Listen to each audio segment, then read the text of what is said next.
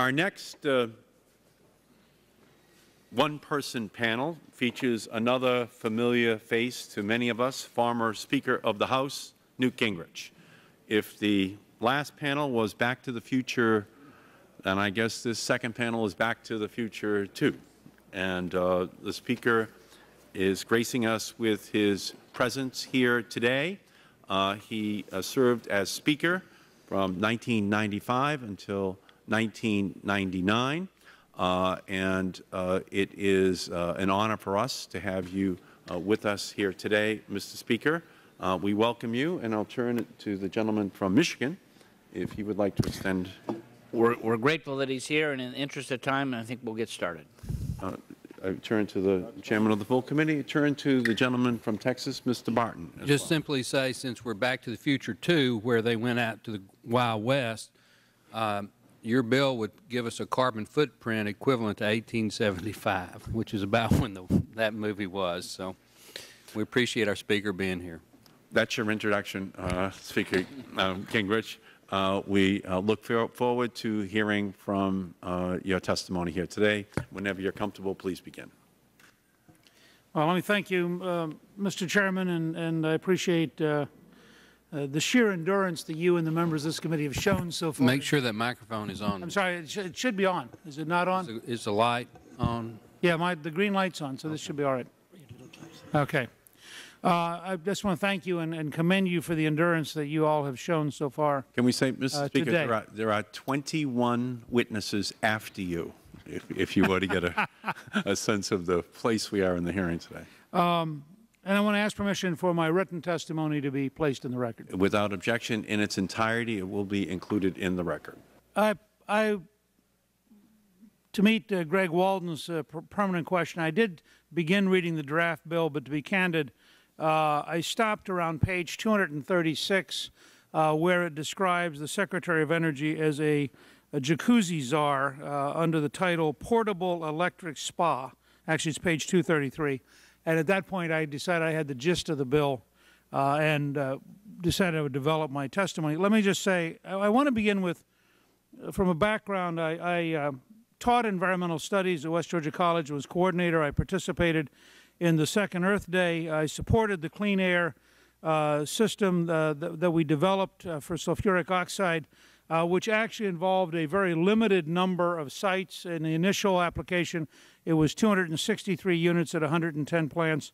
Uh, later on, it was expanded to a total of 2,000 units, which the jacuzzi section alone would dwarf. Uh, and so I do think there's some substantial differences between what we did in 1990 in a bill that, as a Republican whip, I helped pass, uh, and what you are looking at today. I want to start with two general observations, one from, uh, I guess, my namesake, King Canute, uh, and the other uh, from the Polish resistance to communism, which adopted the principle of 2 plus 2 equals 4. Um, Canute was asked in the Middle Ages by his, his staff had been telling him how powerful he was. And so he went down to the ocean and told the waves to stop. And the waves did not stop. Uh, and he turned to his staff and said, this is a hint that I'm not as powerful as you've been saying. This bill strikes me as a remarkable inability to learn the lesson of King Canute. Um, if you look at the housing disaster where the Congress decided 15 years ago people who couldn't afford houses should buy houses and banks should loan money to people who couldn't afford to buy houses, and then you look at the Federal Reserve which decided that interest rates should be kept low enough to create a huge bubble on Wall Street, um, we don't seem to be able to learn from any of this. This bill massively expands the Department of Energy's power gives all sorts of authority to the Secretary of Energy. Let, let, let me just quote two examples of why this is a huge mistake. The General Accounting Office said on the Future Gen project, which is very important to this country's future and very important to getting to green coal and carbon sequestration, quote, contrary to best practices, DOE did not base its decision to restructure Future Gen on a comprehensive analysis of factors such as the associated costs, benefits, and risk. DOE made its decision largely on the conclusion that costs for the original Future Gen had doubled and would escalate substantially. However, in its decision, DOE compared two cost estimates for the original future gen that were not comparable because DOE's $950 million estimate was in constant 2004 dollars and the $1.8 billion estimate of DOE's industry partners was inflated through 2017. So you end up in a situation where in the most important clean coal project of our time, The Department of Energy, which had promised in 2003 to deliver a working plant in 2008, announced in 2008 it might get to a working plant in 2016. On efficiency standards, the General Accounting Office said DOE has missed all 34 congressional deadlines, all 34 congressional deadlines for setting energy efficiency standards for the 20 product categories with statutory deadlines that have passed. DOE's delays range from less than a year to 15 years. DOE has yet to finish 17 categories of such consumer products as kitchen ranges and ovens, dishwashers and water heaters, and such industrial equipment as distribution transformers. Lawrence Berkeley National Laboratory estimates the delays in setting standards for the four consumer product categories that consume the most energy refrigerators and freezers, central air conditioners and heat pumps, water heaters and clothes washers will cost $8 billion in foregone energy savings by 2030.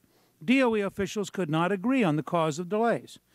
Now, I just want to suggest to you to take this department and give it 646 pages of additional power uh, is an astonishing avoidance of King Canute's record. The second is uh, that on page 362 in this bill, you in effect mandate an 83 percent reduction in carbon by 2050. Now, that's exactly like telling the ocean to quit moving. The idea that we're actually going to get an 83 percent reduction in carbon, in my judgment, is a fantasy, barring a major scientific breakthrough which legislators have zero ability to legislate. You can invest in it, you can hope for it, but to legislate it strikes me as exactly King Canute's rule. On 2 plus 2 equals 4, I just want to I put in, my rec in the record a quote from George Weigel and a quote from Orwell's 1984, both of which point out that the state can tell you 2 plus 2 equals 5, but it isn't true. Uh, Congressman John Dingell captured the 2 plus 2 equals 4 exactly right when he said earlier today, this bill is a big tax increase. And I want to make this quite clear. This bill is an energy tax. President Obama's budget makes clear it's a $646 billion energy tax. That's what he has in the budget, with an asterisk that says it will raise more than that. The press reports indicate the administration believes the, that that energy tax would actually raise around $1 billion, which for a 648-page bill means it's between 1 and $3 billion a page. Now, energy tax kills jobs. And the Vice President Gore was talking earlier about how China is improving. I just want to quote about India and China two things. Um, and this is from my, my written testimony, India is saying no to crippling its economy, no to stunning its growth, and no to punishing its citizens. A, a, one particular member actually, of, of the Indian delegation to the UN conference in Bonn said, quote, if the question is whether India will take on binding emission reduction commitments, the answer is no.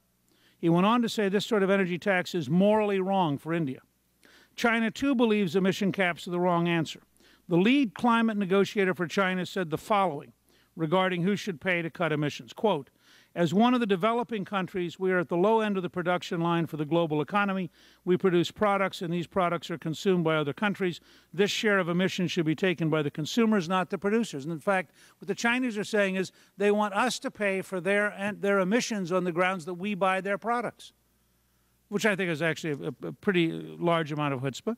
Um, the... Um, as Energy Secretary Steven Chu has said, quote, if other countries don't impose a cost on carbon, then we will be at a disadvantage. And I think in this economy at this time, that's the number one thing to look at.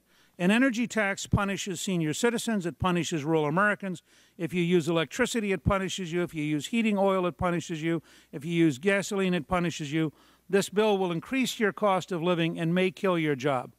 Uh, the, one, the Tax Foundation estimates this bill uh, that an energy tax could kill 965,000 jobs and reduce the economy by $138 billion a year. What's even more troubling about this bill, though, is it continues a recent tradition uh, that Congress has adopted, and that is to move from Lincoln's government of the people, by the people, and for the people uh, towards a government which uh, punishes the people into behavior. I favor incentivizing the future. I am opposed to punishing the present. We did not create the transcontinental railroads by punishing stagecoaches. I could strongly support an incentivized bill to maximize new technologies and to maximize green technologies. I'd also point out that Vice President Gore's reference to 30 cents a day came from an intellectually dishonest EPA study which included a 150 percent increase in the number of nuclear power plants.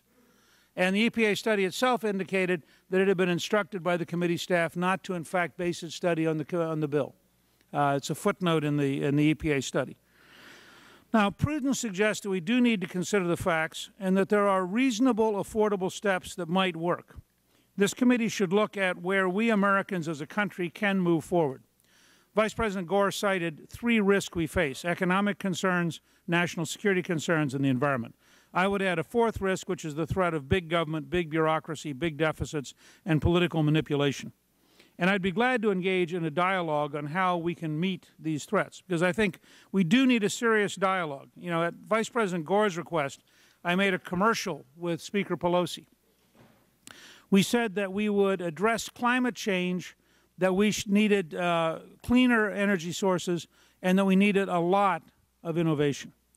I can accept all three of those. The, but a dialogue ought to be both ways. It ought to be not an automatic agreement or an, a salute, but rather a genuine conversation. Uh, Vice President Gore made some startling and, in some cases, I think deeply misleading assertions. Um, he cited Bernie Madoff and described bad information and talked about massive fraud. But in fact, I think that um, it's very important to look in detail at his own testimony. Uh, he pointed, he said, for example, the rate, uh, this is a quote, the rate of new discoveries is falling for energy. That's factually not true. In the last three years, we have found 100 years of natural gas in the United States because we now have new technology drilling at 8,000 feet, and we have literally found 100 years of natural gas in the last three years. In Brazil, they found three fields, the, the Tupi field alone in 2007, a second field recently, and just in January, an Exxon Hess consortium found a third field. Brazilian reserves have gone from 10 billion barrels to 100 billion, but of course that's an offshore Atlantic Ocean field, which is, which is up until last October illegal to look for in this country. The Bakken field in, New, in North Dakota and Montana has jumped from a 1995 U.S. Geological Survey estimate of 151 million barrels. In April of 2008, they raised it by 2,500 percent. They now believe there are between 3 and 4 billion barrels of oil in the Bakken field. What Vice President Gore does not tell you is that having supported the government stopping the exploration for oil, having supported the government stopping the development of shale oil in Colorado, having supported the reduction in the use of coal where we have 27 percent of the world reserves, we're then told that these government imposed shortages prove we have no resources. That's fundamentally not true. And yet the Obama budget proposes to raise taxes on oil and, and uh, natural gas development at exactly the time this economy needs more development and more jobs. On the facts of climate change, we need a national inquiry. And, and let me be quite clear in the spirit of the commercial I did with Speaker Pelosi at Vice President Gore's request. I want to invite Vice President Gore to join in a nonpartisan inquiry and I'd love to have this committee agree to help sponsor it so that every high school and college campus this coming October could have a discussion about the facts. For example, Vice President Gore in his testimony talked about the likelihood of a 20 foot rise in sea level. Let me say, if we had a catastrophic 20 foot rise in sea level, that would be bad. I'm happy to stipulate that would be bad. However, even the, the Intergovernmental Panel on Climate Change said the probable maximum is between 7 and 23 inches over the next 100 years. Now, 7 to 23 inches over 100 years is radically different than 20 feet. But let me go a couple stages further. A recent report on Greenland, this is uh, from the American Geophysical Union, a report uh, said the following, quote, so much for Greenland's, Greenland ice's Armageddon this is a quote within that, it has come to an end, glaciologist Tavi Murray of Swansea University in the United Kingdom said during a session at the meeting, quote, there seems to have been a synchronous switch off of the speed up, she said. Nearly everywhere around southeast Greenland, outlet glacier flows have returned to the levels of 2000. That is from January of this year. Uh, on the question of uh, whether or not Antarctic ice is in fact shrinking, let me just quote from the Australians who said, slightly longer. Antarctica has 80% of the Earth's ice and, and uh, I mean 90% of the Earth's ice and 80% of its fresh water. Uh, according to the Australians, extensive melting of Antarctica ice sheets would be required to raise sea levels substantially. Ice is melting in parts of West Antarctica. Uh, the, the, destabilization of the Wilkins ice shelf generated international headlines. However, the picture is very different in East Antarctica, which includes the territory claimed by Australia. East Antarctica is four times the size of West Antarctica, and parts of it are cooling. The Scientific Committee on Antarctic Research report prepared for last week's meeting of Antarctic Treaty Nations in Washington noted the South Pole had shown significant cooling in recent decades. Australia Antarctic Division Glaciology Program head Ian Allison said sea ice losses in West Antarctica over the past 30 years had been more than offset by increases in the Ross Sea region, just one sector of East Antarctica. Sea ice conditions have remained stable in Antarctica generally, Allison said. So ice core drilling and the uh, fast ice off Australia's Davis Station in East Antarctica by the Antarctic Climate and Ecosystems Cooperative Research Center shows that last year the ice had a maximum thickness of 1.89 meters, its densest in 10 years, close quote. Finally, on coral die-offs, it's hard to understand why carbon dioxide or current temperatures would lead to coral die-offs Coral was very abundant in earlier eras when the Earth's temperature was as much as 10 to 15 degrees warmer and atmospheric uh, CO2 was two to seven times higher. I'm an amateur paleontologist. I would be glad to take the Vice President to the Smithsonian or the American Museum of Natural History, where we can look at all sorts of uh, marine invertebrate life, uh, which is collected as, as fossils because, in fact, they use carbon quite effectively. All I'm suggesting is that there is a sufficient debate over facts, not over theories, over facts, that would be very useful to have an inquiry on every co college and high school campus, allow everyone to present their evidence and discuss, in a way, a genuine dialogue about this. But while I think there is no evidence that we need to rush to a massive energy tax increase or a massive increase in government, there are many steps we could take that are reasonable and that are legitimate. I suggest 38 of them in my uh, testimony. I'm just going to mention a couple quickly here. First, I think we should rebuild the American economy with American energy, both for jobs and for national security. I think it is very important that we have a pro-American energy bias in our system. Second, I do think that green coal and carbon sequestration is the most important single breakthrough we can make because the objective fact is China is adding one coal-burning plant a week. There's no evidence they're going to slow down. And unless you get to an affordable green technology for coal, there is no possibility that American developments are going to affect the volume of, of, carbon in the atmosphere because the Chinese will more than offset any savings we have. Third, I think that enhanced oil recovery as a component of carbon sequestration could lead to up to 100 billion barrels of additional oil coming out of existing fields, which is a key answer to the peak oil question, which creates jobs in the U.S., keeps money in the U.S., helps our foreign exchange rate, solves an environmental challenge while also solving an economic challenge. Fourth, the U.S. should expand the use of biofuels, including ethanol. And I, and I agree with two questions. One, on page 8, why would you exclude biomass from federal forest lands. I mean, I think that is, that is a, makes zero sense in terms of the sound management of, of, federal forest and in terms of biomass. And second, on page 110, why would you exclude energy from municipal waste? If we can get methane production from municipal waste, why isn't that a totally legitimate uh, uh, use of biofuel on a renewable basis? Number five, you should add a section on nuclear energy. I thought the dialogue between the, the committee and Vice President Gore was fascinating. China has the, has the largest nuclear building program in the world. Now, if the Vice President wants to come here and tell this committee he's encouraged by China, then he has to confront nuclear energy. The French produce 80 percent of their electricity from nuclear energy. If we match that, we would, we would take 2 billion, 100 million tons of carbon dioxide a year out of the atmosphere. Uh, the fact is that Vice President Gore mentioned one-off reactors. That's entirely a function of government policy. If we wanted to, we could follow the Japanese and Canadians, develop a clear model of, of a, a, routine, repetitive nuclear reactor, build a huge number of them. Uh, if you want to lower the cost of building nuclear power plants, streamline the permit system and streamline the litigation system, bring American production down to the rate of Japan or, or, or France. It takes five years to build a nuclear power plant in, in, in uh, Japan. It takes 15 to 20 if you can get past the litigation in the United States. And finally, any notion that civilian development of nuclear reactors by the United States has any impact on nuclear weapons worldwide, I think requires you to ignore that North Korea and Iran are doing quite fine on their own, and they don't seem to have any need for an American nuclear program to develop their nuclear weapons. Sixth, I want to just close by recommending something that not just to this committee but to the whole Congress. and this may be bolder than anything that's in the current bill. We are on the edge of a huge opportunity in science. There's going to be four to seven times as much new science in the next 25 years, 65% of it coming outside the United States. We have more scientists alive than all of previous human history. They are every year getting better computers and better instruments. They're connected by email and by zip code, I mean, by email and by cell phone.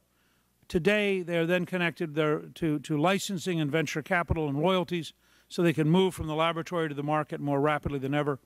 We recently uh, had an Alzheimer's study group report that you know fully well about, uh, Chairman Markey, uh, where we, we proposed a very bold fundamental change in the Budget Act to go from an accountant-designed science budget to ask the scientific community the optimum they could invest. There is no zone other than, than health where it would be more appropriate than in the field of energy and the environment to fundamentally reshape how we invest in science and, and set as a goal very radical, dramatic breakthroughs to get affordable, reproducible, and scalable breakthroughs in energy, uh, which I think are possible. I do think that part of this bill is moving in the right direction. I would love to find a way to design a very bold breakout, whether it's hydrogen, new materials technologies, or a variety of other things. I think they could be there, but I would just close by urging you don't mandate beyond the technology. When we passed the act in 1990, we actually knew the technology existed uh, for sulfuric acid uh, to, be, to, to be dealt with. We didn't, and we did it for a very limited number of sites. This is a fundamentally different question, and it threatens the entire American economy. But I appreciate very much the chance to be here. We thank you, uh, Mr. Speaker, very much. Um, we'll begin by recognizing the chairman of the full committee, Mr. Waxman. Thank you very much, Mr. Chairman, for recognizing me first so I could attend to some other business. Uh, Mr. Gingrich, uh, as I hear what you're saying is it can't be done, it costs too much, there's really not that great a threat anyway, and we don't want to rush out and spend government money and have government programs in a large government. But it was interesting, your proposals were um, rebuild the American economy with greener energy. I assume that's going to cost somebody some money. Green coal and carbon sequestration. Of course we need it. It's going to cost some money enhanced oil recovery, expand biofuels, nuclear energy. Uh, we ought to ask the scientists how much money they want. I don't disagree with those, those ideas, but I don't know how you do it without spending some money. And quite frankly, I'd rather give the marketplace some incentives to get some of these results than to have government funds uh, do it, uh, attempt to do it, because I think the free uh, economic system that we have is the best way to get results. But as I, um, as I look at your basic core argument, it's going to cost too much. And in fact, you said it's going to be a glorified one to two trillion dollar new energy tax will cost households over three thousand dollars a year. Is is that right? Is that your position? Um, well, the, the, those are the numbers I've seen. Okay. Well, those are numbers that have been cited and the problem with these uh, numbers is they're simply not true. Uh, Republican members have cited this before and other, other uh, hearings, and they say that uh, this is supported by an MIT study. But the author of this study, Dr. John Reilly, said the estimate is a gross exaggeration, that his study is two years old, uses outdated data, examines a different piece of legislation. I, would like to enter into the record, Mr. Chairman, two letters that Dr. Reilly sent to Minority Leader Boehner explaining that Republicans are mischaracterizing his work. Just yesterday, Dr. Reilly confirmed that, quote, the Republican approach to estimating the cost of cap and trade is just wrong, end quote. EPA analyzed the uh, objection will be included in the record. Uh, the cost of the bill that Mr. Markey and I proposed, and this analysis says the bill will cost the average family less than 40 cents per day when the American people hear statements that you have made, they get scared, which is exactly what I think is intended. Let's scare people. This is not a new tactic. I remember over the years we've heard it over and over again from industry. 20 years ago, when we were doing the Clean Air Act, opponents of the acid rain provision said it would bankrupt the utility industry. In fact, we cut emissions in half at a fraction of the cost the naysayers predicted.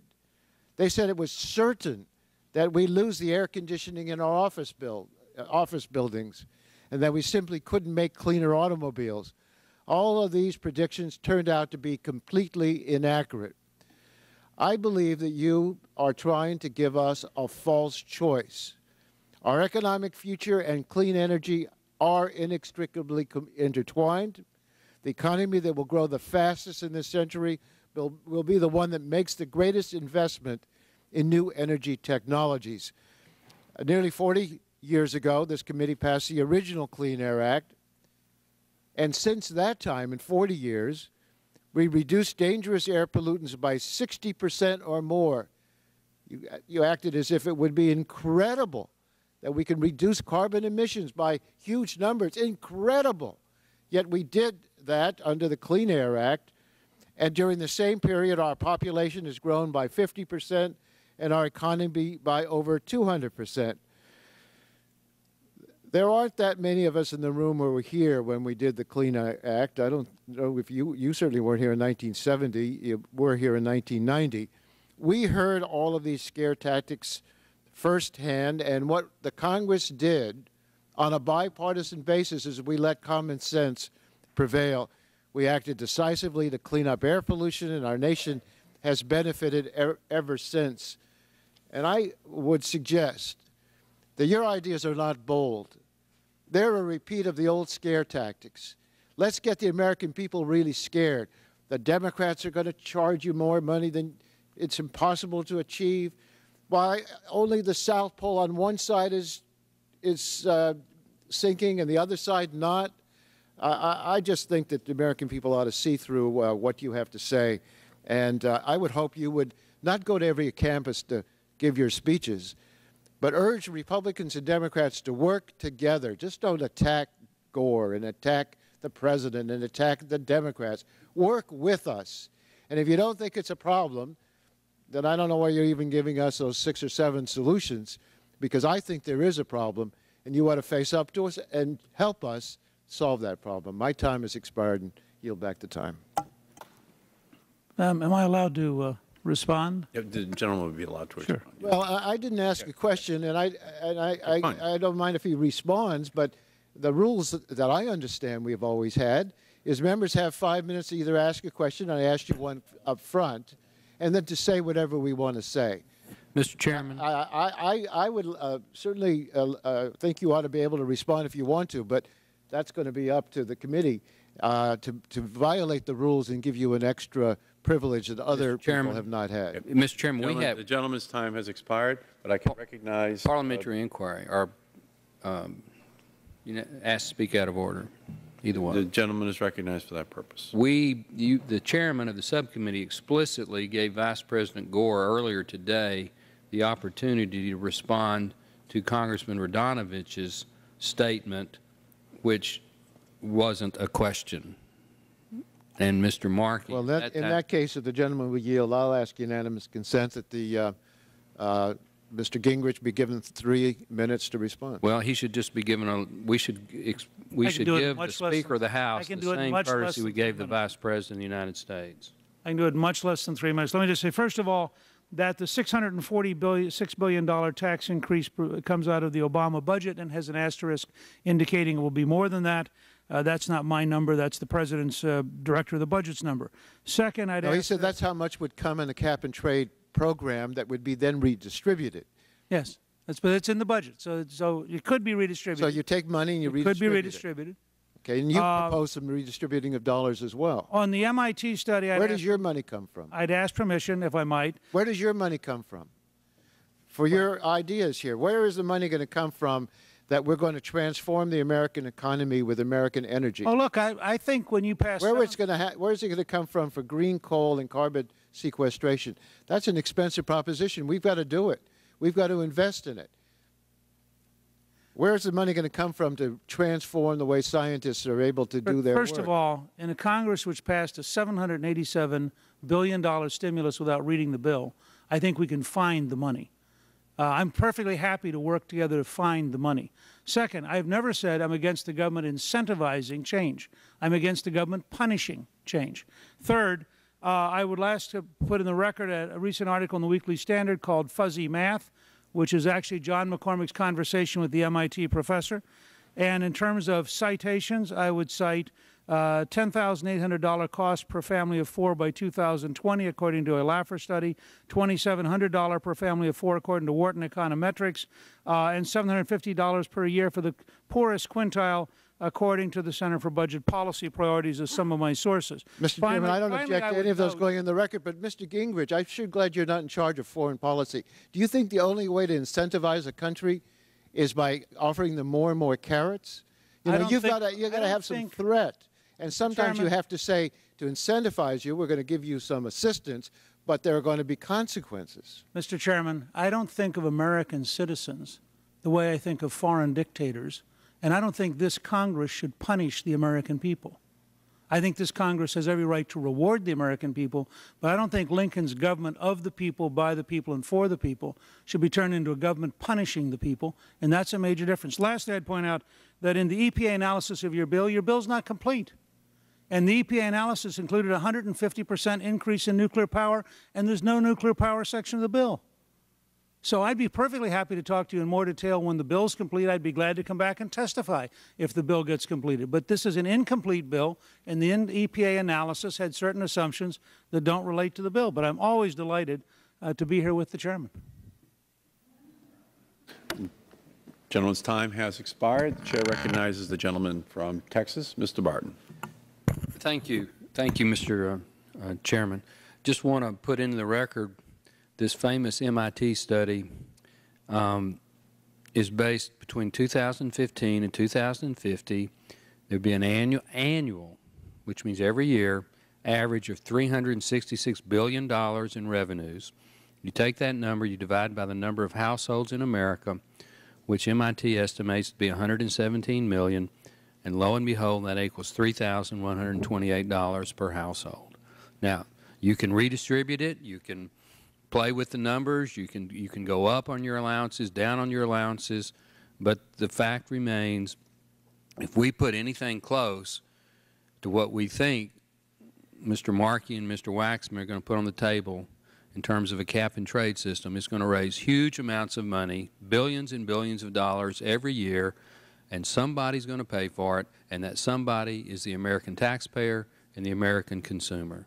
That's number one.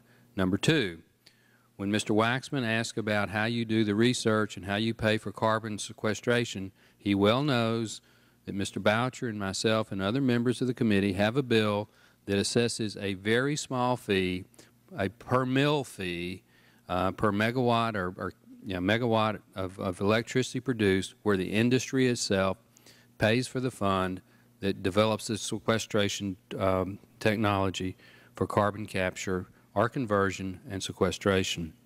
That bill is part of the 648-page draft. The Boucher proposal that I support and many Republicans support is in this draft bill. What is not in this draft bill is the actual allowance system, scheme, and who gets free allowances and who has to pay for allowances. That is not in this bill. And that's, there may be good reasons why it's not in the bill, but it's not in the bill.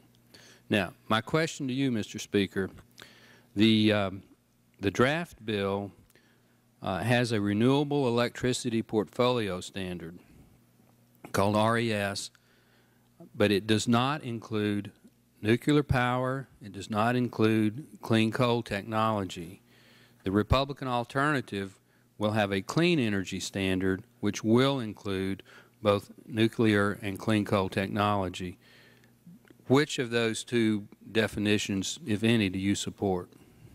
Well, obviously, I would support including clean coal technology and, and nuclear power. But let me point out, uh, in terms of one of the things that the chairman asked me a minute ago, uh, if you simply pass regulatory and litigation reform for nuclear power, I suspect you get a dramatic increase in nuclear power investment at no cost to the federal government.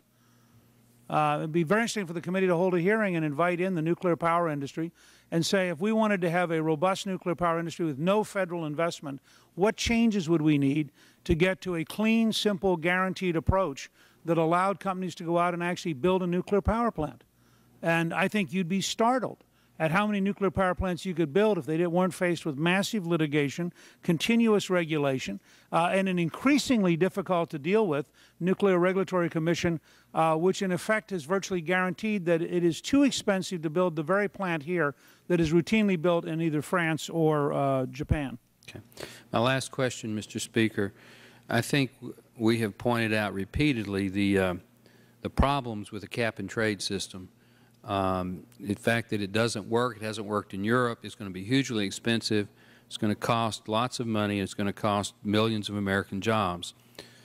The Republican alternative does away with cap and trade and puts in its place an efficiency or performance standard uh, similar to what we put in the Clean Air Act amendments in 1990.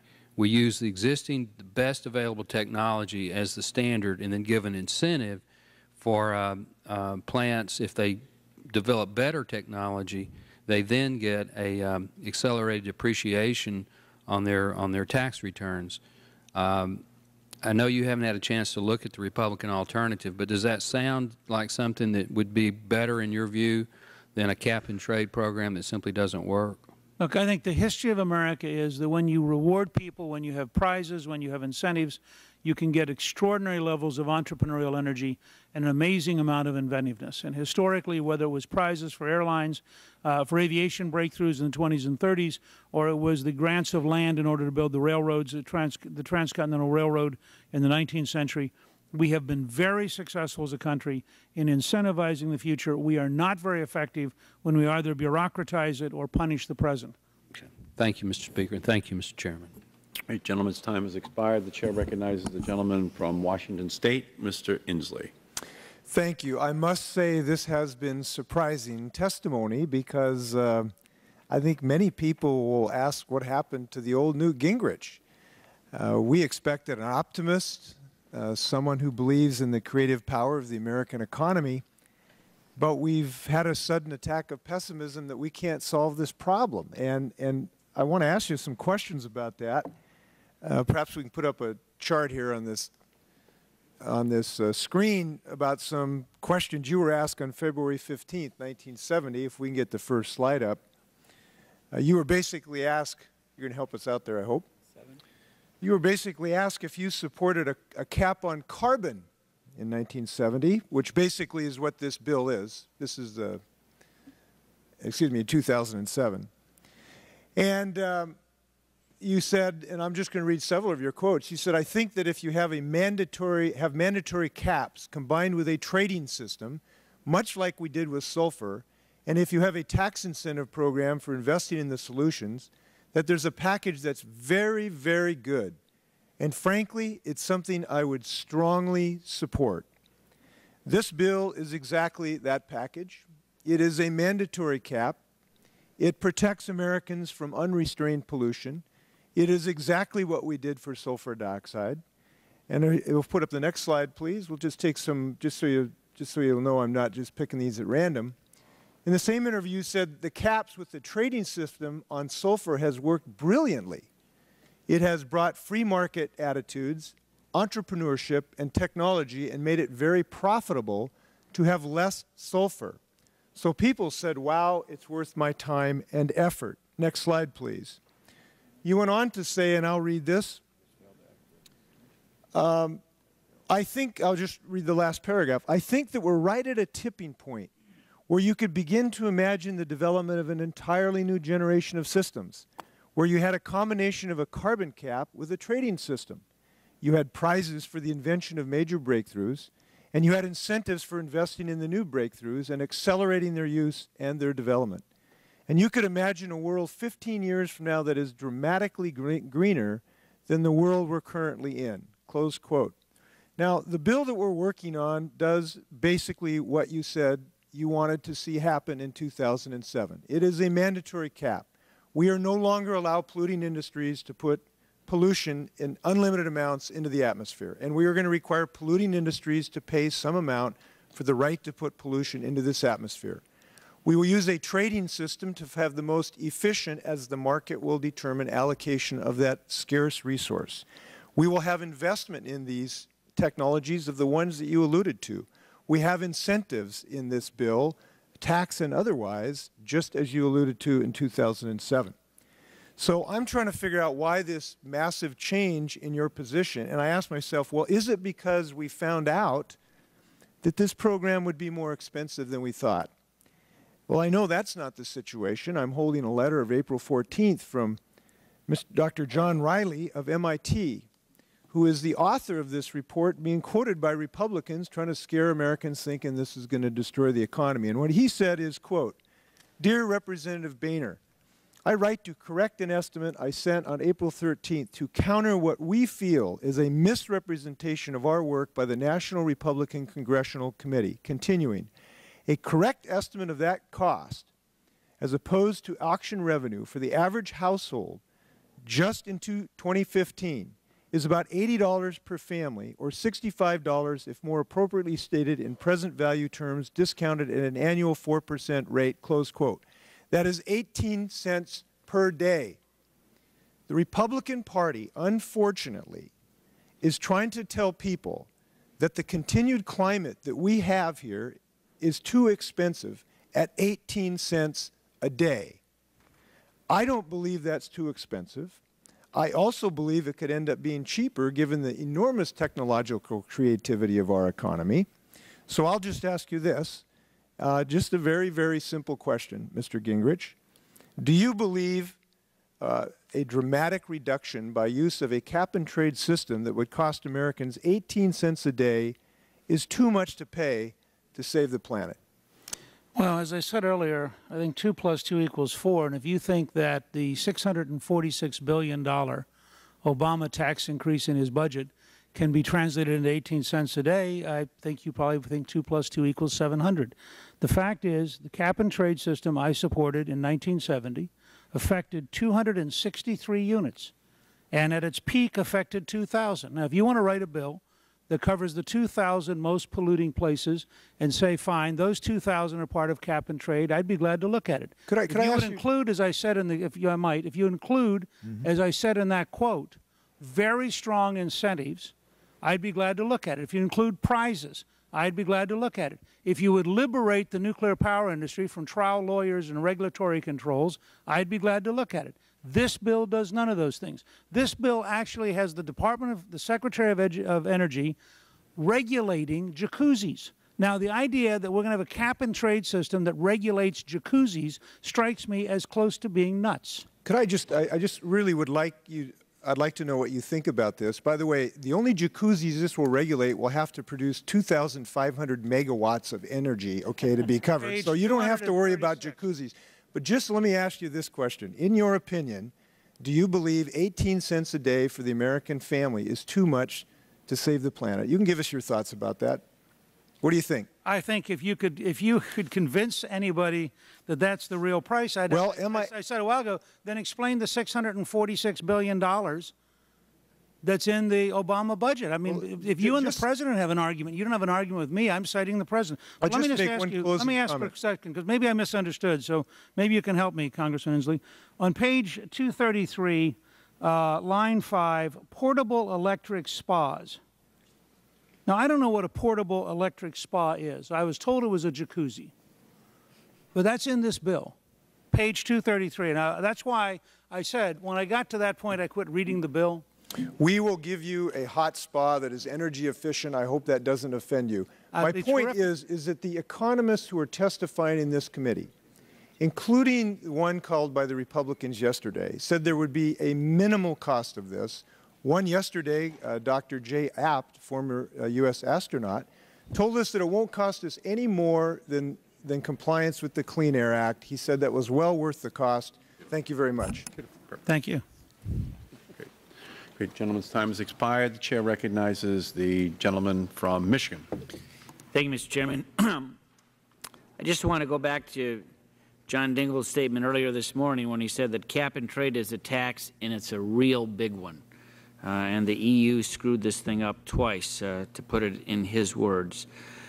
Uh, Mr. Speaker, it's, it is good to have you back, and I'm one that believes that we can, in fact, reduce emissions and deal uh, with with the issue and, uh, in a, in a major way. And you and I were both in the Congress with Mr. Barton, Mr. Markey, certainly Mr. Dingell.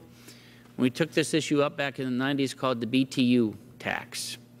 A lot of us labeled it the big time unemployment. And we knew at the time that the Senate was never going to take that bill up. But somehow we had a march in the House. Uh, the Republicans were in the minority, and that BTU tax uh, did pass uh, 219 to 213. And the Senate, to their word, never took the bill up. As we look at the landscape today, with the Senate failing to, to take up uh, the Warner uh, Lieberman bill last year, failing to get 60 votes, uh, with another 12 that said that they would have voted against it had it made it made it to cloture. When we look at the vote earlier this month in April, where the Senate voted almost by a two to one margin, including my two senators, uh, Evan Bayh, uh, a number of others uh, in the Midwest region, the Rust Belt, who again said it should not be part of reconciliation as part of the budget, thus requiring 60 votes instead of 50, they said no. I mean, as we try to work together on a bill, to me it's quite apparent that even if the House passes a cap and trade tax, as Mr. Dingell called it, it is not going to fly in the Senate. So why don't we work together on a, on a number of things that in fact can bring us together? Uh, things like uh, a renewable portfolio standard to include non-carbon emissions as part of that. 30 states have moved forward, uh, Mi uh, Michigan uh, among them, Texas among them, presume Massachusetts uh, among them. But as we look at the list of, of states with a uh, high percentage of carbon-based fuels, we look at Massachusetts at uh, 90, better than 90 percent, Michigan 86 percent, Texas at 95 percent, even Wyoming at 97 percent. I, I, think it's clear that we, we can take a number of steps to, to focus on renewables, and we ought to make sure that waste to energy is part of that. We ought to make sure that wind and solar incentives are there. Uh, I'm one that believes that nuclear, which of course has no greenhouse gas emissions, we ought to be looking at that as part of that portfolio. And I'm convinced that we'll have a bipartisan um, majority on a number of those issues where we can, in fact, move that legislation, uh, ultimately uh, getting to the President's desk. Uh, you've made some good points about nuclear, and it's not uh, part of this bill. Uh, I intend to work with Republicans and Democrats to add that title to the bill when, when we get to markup in, in the next week or two. Uh, I want to make sure that we don't have caps on emissions before we have technology that, that can actually actually make sure that we, we get to those. Uh, uh, what, is, what is your sense in terms of the argument that I raised uh, this morning uh, about the WTO? Would that be a good idea to have an off-ramp? Uh, well, I, th I think that people have to recognize the very grave danger that this bill is going to kill jobs in the United States and that the bill is not going to have any automatic effect on other countries except to export factories and export work. I do want to recognize uh, that the distinguished chairman and my very dear friend uh, has come in, and it's, it's a great honor to be with him. Uh, and we, uh, we did many different uh, things together over the years. Most of them, I have to say, for the good, I would like to think, for the country. But I do think his testimony this morning, or his comments this morning when he was talking with the Vice President, with Senator Warner, this is a this is a tax, and, and here's the core challenge that I find fascinating, and it's something which Mr. Butterfield I thought alluded to in his questions earlier, and that Ms. Sutton alluded to. The argument is that we have to raise the cost in order to get people to transition out of uh, fossil fuels because fossil fuels are inexpensive. Okay, that's a legitimate argument. However, when you raise the cost, you're raising the cost. And then people say, but there's not really a higher cost when we raise the cost because somehow magically we're going to get to a promised land where it will be a lower cost after the higher cost.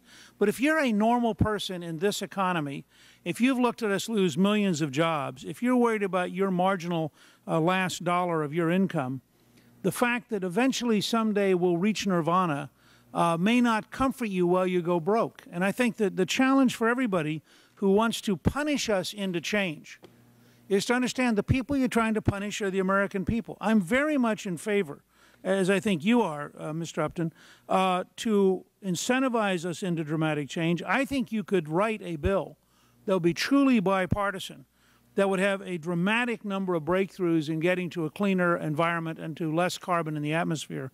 Uh, but it would do so in a positive way, and it would do so by incentivizing rather than punishing, uh, and it would do so in a clean way that did not require a massive expansion of government bureaucracy. Thank you. Gentleman's time has expired. The chair recognizes the gentleman from Michigan, Chairman Emeritus of the committee. Thank you. I'd, I'd like to begin by welcoming my old friend, Mr. Gingrich, back. Glad to see you here, Newt. Um, I share your concern on the points that you have raised as you've gone over these, these matters. The question of competitiveness in this matter is a very important one. The question of how it is we're to address this business of global warming at the same time while we're dealing with the other questions of preserving competitiveness is a matter of great concern.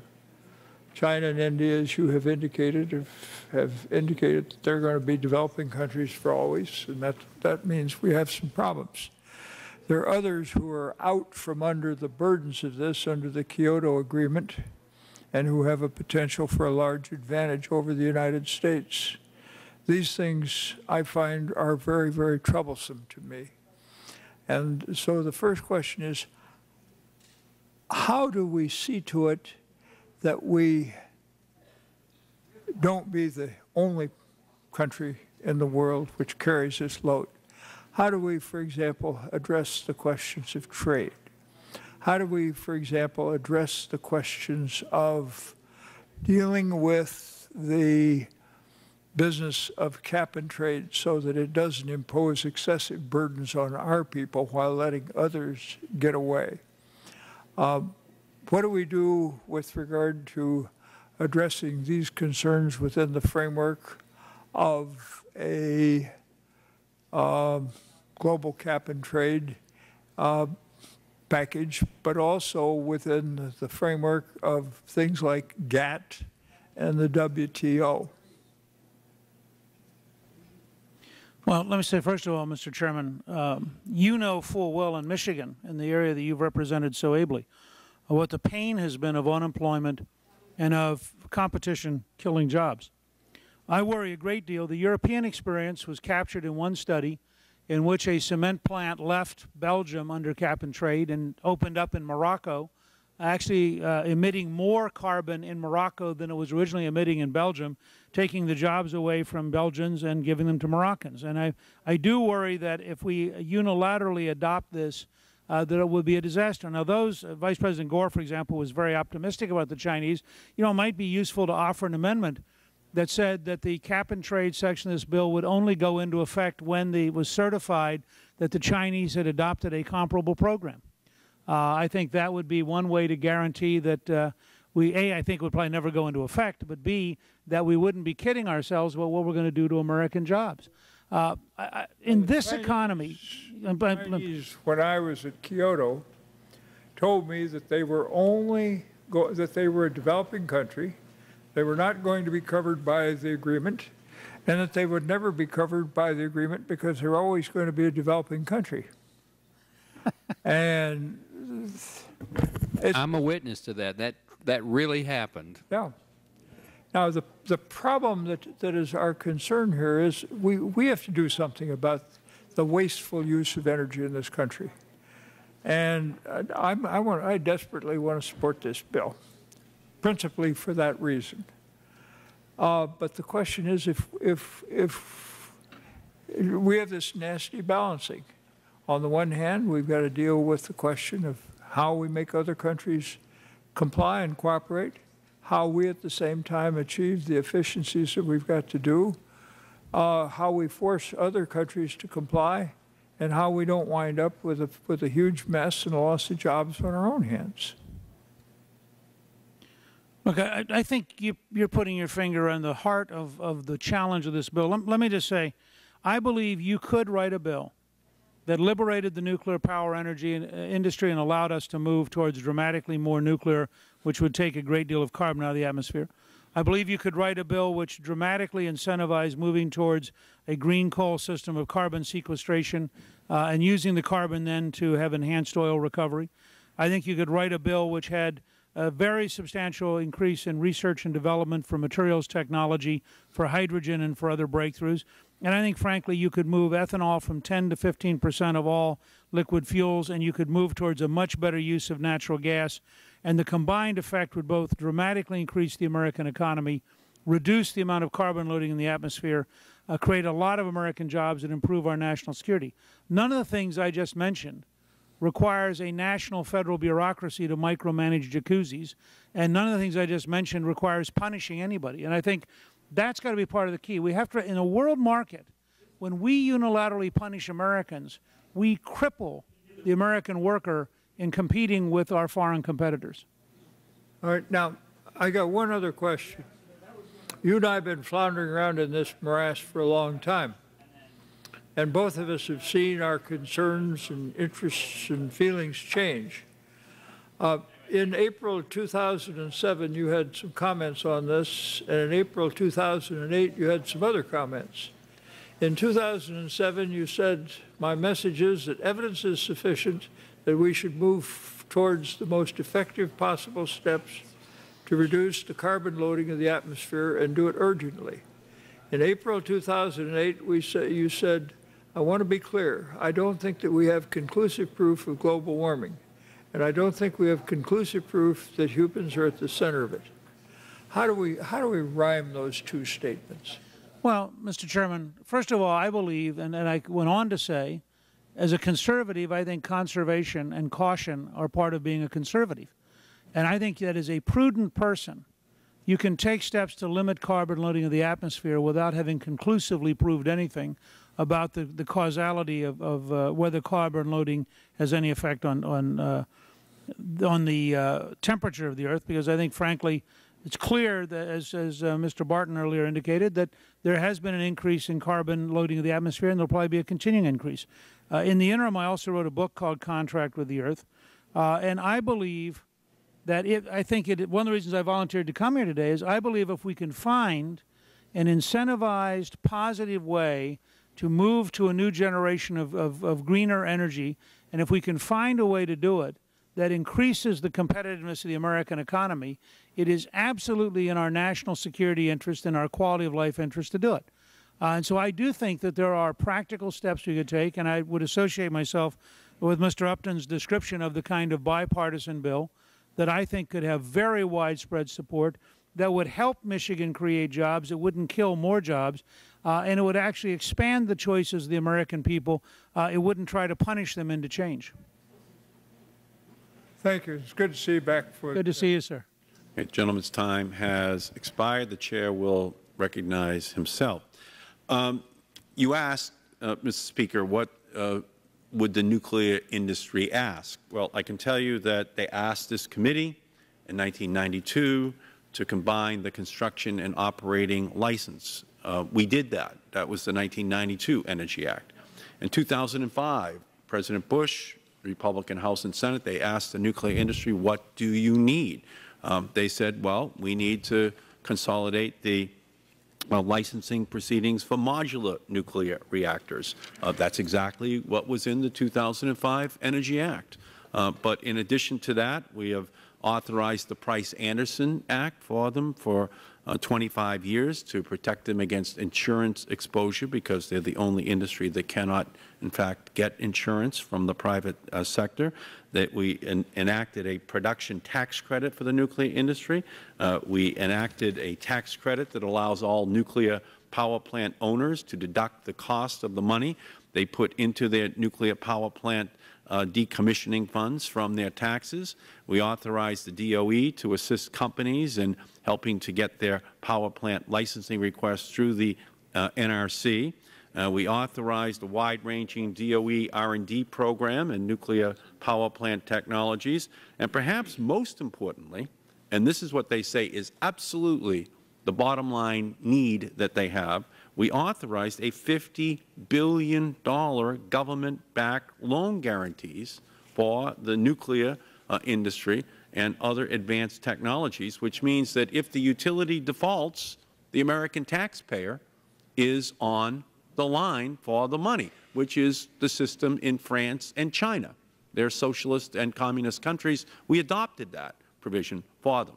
However, there's no question that even with all that said and done, that if there's a cap-and-trade system put in place and a low-carbon economy is created, that that would be the best marketplace incentive for the utility industry to move back towards the nuclear industry, because then a premium would be placed upon this. So the marketplace is the best place for them, although they have been dependent upon government support for the last 50 years, and they've only intensified uh, in their requests over the last three or four years, which has been met by the Congress. So that's just the reality of the nuclear industry. It will do better in a cap-and-trade system. Second, on your point about the 34 times that the Department of Energy missed their deadlines uh, for appliance efficiency, that is accurate. They did. Uh, I know that because I requested the GAO report on that issue. I know and have a concern about it because they missed the deadline required in my appliance efficiency law. Now, without question, that led to uh, an additional dozens of power plants that had to be built, fossil fuel plants, in order to generate the electricity uh, for those um, appliances. However, the reality is, in addition, that when you were Speaker, there was actually a rider that barred adoption of any new or revised appliance efficiency standards, and a second rider actually barred any new standards for fluorescent light bulbs. So to bring this up to the jacuzzi amendment or the hot tub amendment, that provision is inside of the appliance efficiency uh, standards that we are going to require. Now, of all of the things that we would want to have high energy efficiency, it would be, I would think, jacuzzis. I mean, there, there is a discretionary purchase in the American economy. And all we're saying there is like light bulbs or refrigerators or stoves, that there should be high standards for energy efficiency in the manufacture of jacuzzis and hot tubs. It's just part of what it's part of what you were criticizing in the very beginning in terms of the Department of Energy not meeting high energy efficiency standards. And by the way, the standard that we included is the industry consensus standard. Uh, and the, the, a standard they say they believe all industry participants can meet. And I would just add this one other thing, which is that beginning in 1995, there was a rider attached to every transportation bill which banned the Department of Transportation from improving the fuel economy standards of the vehicles which we drive. So in the same way that not having high standards for appliances uh, led to more fossil fuel electrical generating plants having to be built, uh, sending more CO2 up into the atmosphere, so too did delaying the improvement in the fuel economy standards lead to more imported oil, yes, uh, but ultimately delayed the point in time in which the auto industry would have to meet the innovation test that the rest of the world was applying uh, to our auto industry. So I just point all those things out just to let you know that in the confines of this bill, the nuclear industry is a huge beneficiary. Uh, the uh, the appliance uh, and uh, other uh, industries uh, will be dealt with in a way that I think matches the kind of prize that they should be receiving for innovation. But it's just creating this work smarter, not harder economy uh, that depends upon innovation rather than the importation or the burning of domestic uh, fossil fuels unnecessarily, although where it's necessary, we obviously need it to continue. So that's the only point I would make to you, Mr. Speaker. This is these are the things that I have been working on my entire career, and in a lot of ways, this bill that we are now debating makes it possible for us to move to the innovation economy. It makes it possible for us to move uh, forwards to uh, now deal with the reality that we only have 3 percent of the world's um, oil reserves while consuming 25 percent of it, which is an unsustainable long-term uh, uh, profile for our country. Just, just two quick comments. You, you have shown uh, great fortitude today and great patience. Uh, uh, two comments. One, on the question of reserves, I would just cite back what I had said earlier. When you realize the U.S. Geological Survey just increased the Bakken Reserve by 2,500 percent uh, to between 3 and 4 billion barrels from what had been a very small reserve, and you realize that the Brazilians went in the last few years from 10 billion to 100 billion because they uh, barrels of reserve because they actually permitted looking for oil. I think, uh, and, and we literally have gotten uh, a hundred years supply of natural gas discovered in the last uh, three years. I think that the reserve issue is not is actually not valid, but is a function of bad government policy. And, and I just would say, um, I can't imagine a, a much better way to close the difference between being liberal and conservative in America than whether or not one could allow consumers to actually evaluate jacuzzis or whether we needed a federal department of jacuzzi re regulation. I think it's a perfect contrast in our two approaches, and I have, I have great respect for you and what you're trying to do, but I do think it is a pretty dramatic difference in our view of how America should operate.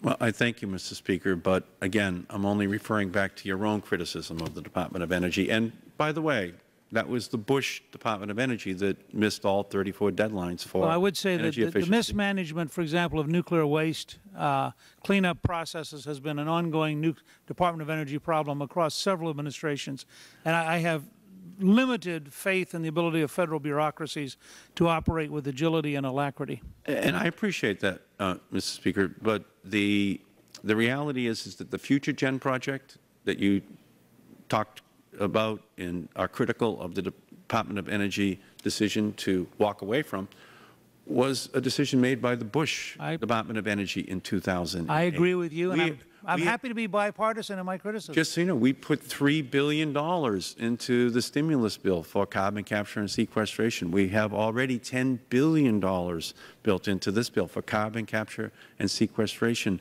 uh, uh, research, uh, development, and demonstration uh, projects. Um, the fundamental flaw, to be honest with you, with, um, uh, with the, um, the nuclear waste site, because I was here, I was actually chairman of the sub, this subcommittee back in that era, was that uh, rather than listening to the National Academy of Sciences, uh, the, um, this, this Congress uh, back then in that time um, decided that they would pick Yucca Mountain in Nevada, ignoring the National Academy of Sciences. So it was not a science-based uh, decision. It was strictly political. And that's what we're now reaping the harvest of, because whether you put something near a river, near an earthquake fault, you're going to wind up long-term with real problems if you're trying to isolate nuclear materials for 20 or 30,000 years. So we're, we're hoping that we can create a bridge here. We're hoping that we'll be able to work together, Mr. Speaker, with uh, Republicans on this issue to find a way that we can move forward, because in the long run, um, we only have 3 percent of the world's uh, global oil reserves. Even if it became 4 percent, we now consume 25 percent. Uh, and it's, in the long run, incumbent upon us to find a technological solution to it. And the quicker that we get to it, the quicker that we put in place the incentives for market-based, uh, science-based uh, breakthroughs, uh, then I think the, the sooner that we will be able to tell the, th those countries around the world that we import 13 million barrels of oil from on a daily basis, that we don't need their oil any more than we need their sand. But there's no way we're producing an extra 13 million barrels of oil a day. We only produce 8 million barrels of oil a day today. So we need a plan in place in order to be successful. And we want to really work on a bipartisan basis with, with as uh, long as I Democrats and Republicans to accomplish uh, that goal. Uh, it is an honor for us to uh, have you with us today. I would like to conclude by giving you an opportunity to, uh, to give us your closing thoughts, your comments in terms of what you want us to remember as we go forward with the consideration of this legislation. Well, Wallace, first of all, I'm very honored that you let me come over and share these ideas with you, uh, and I'm very grateful uh, for the patience and the length of time you've put in today. I would say that there is a way to develop uh, an incentivized and a positive approach that can accelerate dramatically our moving towards more effective uh, energy systems. Um, I think that to the degree we divert that into trying to build a national bureaucracy and trying to create a national managed system, uh, that it is likely to carry us down a road we don't do very well. And I, I agree with what uh, Chairman Dingell said earlier this morning, that uh, watching the two efforts by the Europeans has not been very encouraging in terms of the likelihood of designing the system. But uh, I do appreciate the way you've approached it, and I hope that uh, you and Mr. Upton are able to find some common ground on which to write a bipartisan bill. Thank you, Thank Mr. you. Speaker. And again, it's our honor to have you here with us. Thank you. Uh, we have 21 more witnesses to go today, um, and um the chairman needs approximately a three-minute break um, before we begin the next panel. So we'll stand in recess for th three or four minutes.